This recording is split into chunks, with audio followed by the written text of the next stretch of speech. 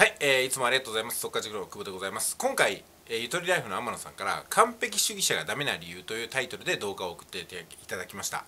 で、この動画についてはですね、ご覧いただいてどういうふうに感じるか皆さんそれぞれだと思いますけども、私が動画を作るならというね、ことで、今回もね、えー、お話していこうかと思います。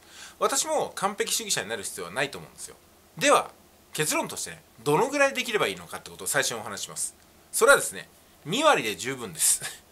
100の課題与えられて、まあ、20点取れればもう OK なんですよ。これなんでかってことを申し上げますね、えー、分かりやすい例は野球の打率ですよね。3割打者ってものすごく名バッターだと思うんですよ。3割打てたらすごいレギュラーなんですよ。だからね私たち普通の人は2割でいいんですよ。いや1割でもいいかもしれないですね。1割から2割できればもうそれは OK 合格点です。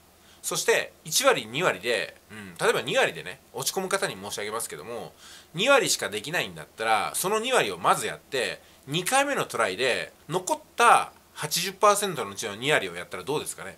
ざっくり言って2回やるだけで4割できるわけじゃないですか。じゃあ5回繰り返したら完璧になるってことなんですよ。それでよくないですかってことなんですよ。だから1回で全部済ませようと思うと本当にね難しいんですよ。1回では。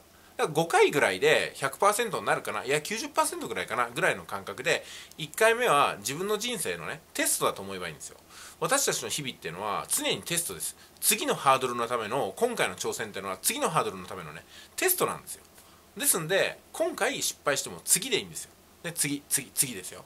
うん、人生はまだありますから。で完璧主義の方っていうのはトライする前に100点を目指してしまうんではないかなと思うんですよ。もちろん100点を取れる力量があればいいんですけどもね完璧主義者の人で100点を取れる力量があれば完璧主義者になってないんですよ。逆説的ですけどね。だから自分の力を見極められない人が完璧を目指すんですよ。このロジックに気づけたらもう大丈夫です、まあ、そういう形でね今回は完璧主義者を狙うんではなくて2割を狙いというねそんなタイトルにさせていただきます。以上です。